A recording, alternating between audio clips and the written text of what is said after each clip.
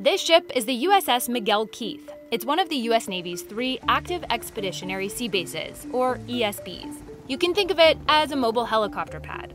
We can support up to four helicopters on the deck, uh, any size helicopter in the U.S. inventory. The ship can also house a few hundred troops. This was my room for the night. And it can support a variety of missions, whether they're military, medical, or humanitarian. We visited the USS Miguel Keith as it was hosting the Command and Control Center for air assault drills in the Philippines. And we traveled with a joint unit of soldiers and Marines as they flew from the ship to islands just 100 miles from Taiwan. Another ESB like this ship is expected to come into service later this year. And with tensions running high with China, officials say it could also end up here in the Pacific.